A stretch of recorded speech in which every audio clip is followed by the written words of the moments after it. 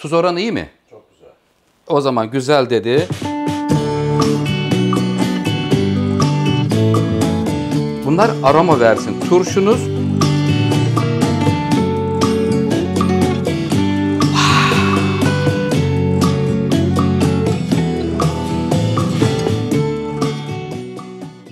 Merhaba sevgili seyircilerim. Mutfağıma hoş geldiniz. Sefalar getirdiniz. Turşu zamanı. Turşu sağlığımız açısından çok faydalı. Bağışıklığımızı güçlendiriyor. Gripten, nezleden de inşallah korur. Çünkü ev yapımı turşuların hem sağlık açısından e, faydalı hem de lezzet açısından da çok güzel oluyor değerli seyircilerim. Efendim Instagram ve Facebook'ta paylaşmıştım doğranmış haliyle. Bugün inşallah YouTube kanalımda sizler için turşu hazırlayacağım ee, sevgili seyircilerim. E, kornişon turşu olacak turşumuz. Burada şu anda e, yaklaşık olarak 3 kilo kornişon turşumuz var. Bir kase sarımsak ayıkladım. Her kavanoz için 5-6 duruma göre değişkenlik gösterecek. Şimdi e, ikişer tatlı kaşığına kristal tuzum var. İçine defne yaprağı ve tane karabiber de koymayı planlıyorum. Oh Usta nereden çıkarttın bu tane karabiberli ve defne yaprağı diyebilirsiniz. Biraz aroma katmak istediğim için koydum. İstemiyorsanız koymayabilirsiniz. Şimdi yapım aşamasına geçmek istiyorum. Buradakilerde geçen sene e, burada YouTube kanalımda mutfağımda hazırlamış olduğum elma sirkesi ve üzüm sirkesini görüyoruz. Bunların ikisi de buradaki mutfağımızda e, hazırlayıp ondan sonra 5-6 ay sonra süzdük, anası oldu. Hatta e, bu bölümleri Instagram TV'mde e, orada sizlerle paylaştım anasının ne kadar kalın olduğunu. Tüm detaylarıyla inşallah bulabilirsiniz sevgili seyircilerim. Ev yapımı anası da olan güzel bir sirke oldu. Şimdi yapım aşamasına geçiyoruz.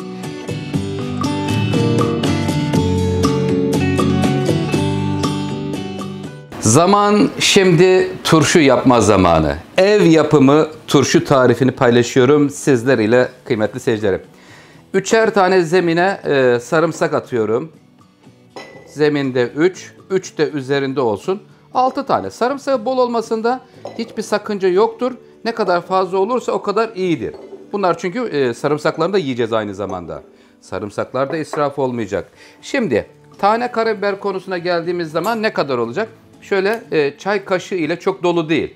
Böyle azar azar zemine bırakıyorum. E, tane karabiber. Karabiber yoksa koymayabilirsiniz. E, birer tane de e, defne yaprağı, birer yaprak.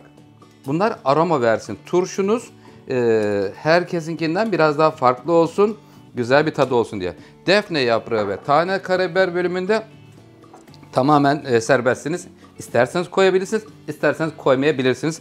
Kıymetli seyircilerim. Bismillahirrahmanirrahim. Yenlere şifa olsun dedik ve şimdi e, güzelce pazardan aldığımız salatalıkları yani kornişon turşuluk, turşuluk salatalıkları güzelce yıkadım sevgili seyirciler. İyi yıkamak lazım. Bayağı kumlu oluyorlar. Defalarca yıkadım güzelce. İyice yıkandıktan sonra e, süzdürdüm. Başlarını kestim bakın iki tarafından da. Şuralar bayağı bir kumlu filandı güzel temizliğini de yaptım. Şimdi bu şekilde önce bir dolduruyorum. Tamamını e, böyle dolduracağız.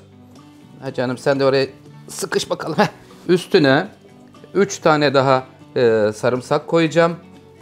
3 tane daha koyayım. Ondan sonra hepsini bir dolduralım. Tuzlarını verme ve sirkelerini verme bölümüne geçelim.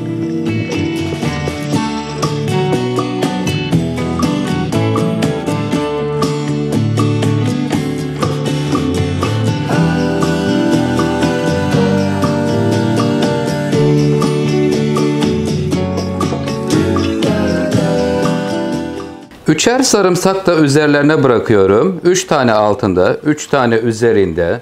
E, aralarda da olabilir. Değerli seyircilerim, istediğiniz şekilde koyabilirsiniz. Şimdi efendim canım bak zaman sineklenme zamanı tam geldiler. Evet şimdi e, tuzlarını koyma vakti geldi. Tuzlarını koyacağım ama 21 gün önce yapmış olduğum turşum var. E, en az 21 ile 1 ay e, arasında değişiyor. Kıymetli seyircilerim e, tadının ol, olgunlaşma dönemi. Şimdi şuradan hemen ben bir tane çıkartayım. E, kameramanıma ikram edeyim. Bir tadına baksın bakalım tuzu filan iyi mi? Çünkü tuz miktarını e, burada şu yarımlık kavanozlara e, ikişer tatlı kaşığı koydum. Tuz oranı iyi mi? Çok güzel. O zaman güzel dedi. Ee, sevgili seyirciler, şu yarımlık kavanozlara iki tatlı kaşığı koyuyoruz. Ee, eğer ben az tuzlu seviyorum derseniz biraz daha tuzunu azaltabilirsiniz. Bismillahirrahmanirrahim. Dolu dolu olmasın isterseniz. Şöyle normal. Evet. ikişer kaşık. Kristal kaya tuzu yalnız. Normal yemeklere kullandığımız tuzlardan değil sevgili seyircilerim. Şimdi burası da 1 litrelik olanlar, kavanozlar. Ee, orası yarımlık, burası birlik. Bunlara da birer bu- buçuk kaşık koyacağım. Tam da tuzum da denk geldi ölçümüze göre. Bunlar bir buçuk e, tatlı kaşığı. Ee, burası e, ikişer kaşık oldu. Yok burası kaç oldu? E, ben burayı karıştırdım. Bazen insanın kafası gidebiliyor sevgili seyirciler. Bunlara ikişer tane koyduğumuz zaman tamamdır. Şimdi hemen e, turşumuzun tadına baktık. Evet sirkelerimiz ev yapımı sirke. Yani Oktay Usta'nın geçen sene mutfağında yapmış olduğu sirkeden koyacağız. Üzüm sirkesi. Canım. Bırakır mısın kapağını? Heh, bıraktı. Rahiyasına bakalım.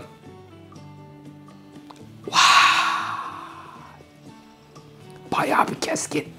Sevgili seyircilerim, e, güzel olmuş.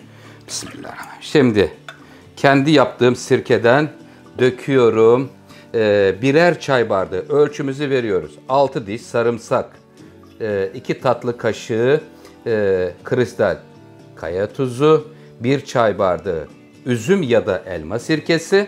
Burada elma sirkem de var çünkü bakın görüyor musunuz? Bak bir tanesinde de elma sirkesi koyayım. Tam bir sene geçti üzerinden. Geçen sene yapmıştım elma vaktinde. Görüyor musunuz? Orijinal ev yapımı şu anda görmüş olduğunuz eee, benim YouTube kanalımda yaptığım sirkemiz. Döküyorum. Birine üzüm dökmüştüm, birine de elma sirkesi döküyorum. Şimdi sirkelerini paylaştırayım. Sonra da sıcak su ile vakumlama sistemine geçeceğiz.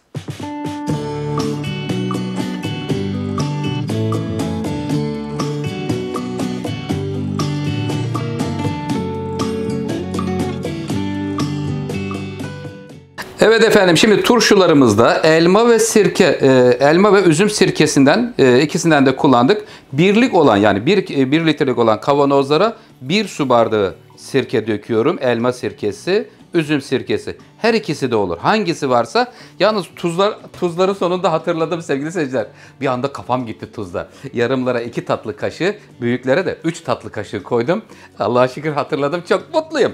Şimdi vakumlama yöntemiyle olacak e, turşularımız. Çünkü bunlar kavanozda olduğu için e, 21 gün ile 1 ay. 1 ay durursa garantidir hiç rahat olun. Buradan başlıyorum. Sıradan geliyorum sevgili seyirciler. Evet, ev yapımı turşular. Kaynar su veriyorum. Kaynar sularını döküyoruz. Tuzları da eriyor. Evet, e, biraz önce tattırmış olduğum e, arkadaşıma turşuda neydi? Doğranmış olandı. Aynısı içine sadece tane karabiberle e, defne yaprağı yoktu onun içinde. Ama ben bir aroma katsın diye onları da koydum. Hemen e, sıcaklığı kaybolmadan bir gece ters çevireceğiz. Yani şimdi az, az sonra ters çevireceğimiz şekliyle bir gece bekleyecek. Ondan sonra ertesi günü ters çeviriyorsunuz. Bir ay sonra böyle garanti oluyor sevgili seyirciler. Güzel gayet lokum gibi böyle ama çıtır çıtır olan e, ev yapımı bir turşu ortaya çıkıyor. Evet hiç bozulmuyor. Bunun bir özelliği de aylarca kalır. Ama normal turşu tarifim de var YouTube'da. O turşu bir ay sonra yemeğe hazır olup sonra bir iki ay içinde bitirmek lazım. Ama bu turşuda öyle bir sıkıntı yok. 3 ay sonra yiyin, 4 ay sonra yiyin, 5 ay sonra yiyin çünkü vakum sistemi olduğu için bozulmuyor. Evet hemen ters çeviriyorum. Yalnız şeyi unutmayalım. İçindeki tuzlar iri tuz olduğu için biraz şöyle yapmak lazım sevgili seyirciler. Tuzun eriyebilmesi için. Çünkü iri tuz var içinde. Kristal tuz olduğundan dolayı söylüyorum. Şu hareketi 4-5 sefer, sefer yapalım ki içindeki o kristal kaya tuzu erimiş olsun. Orijinal turşu diyoruz. Ee, tamamını kapatıyorum. Ters çeviriyor ve 21 günle bir ay sonra turşular çıtır çıtır kuru fasulyenin yanında bir de güzel olur var ya tane tane dökülen bir pilav. Bu tariflerin hepsi de Oktay YouTube kanalında var sevgili seyircilerim. Hemen ters çeviriyorum. Ondan sonra turşuların e, olgunlaşmasını bekliyoruz. Kıymetli seyircilerim, Oktay Usta'dan mutfağa dair, lezzete dair bütün tarifleri inşallah elimden geldiğince paylaşacağım. Kendinize iyi bakın, hoşça kalın, sağlıklı kalın, sofralarınız bereketli olsun. Allah emanet olun.